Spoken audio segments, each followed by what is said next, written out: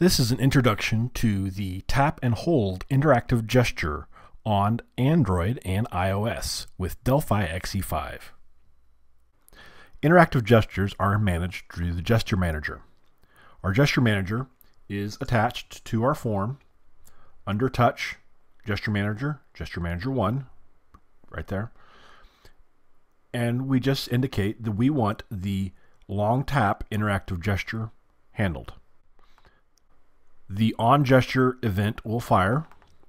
And in here, we use the event info to get the location where the long tap took place. And we display text to the user showing them that.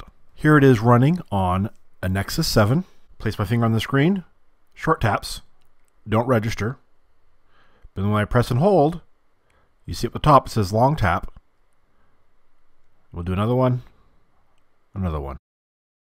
And here's the same application compiled for and running on the iOS simulator. Again, you'll notice individual taps don't show up, but a tap and hold does.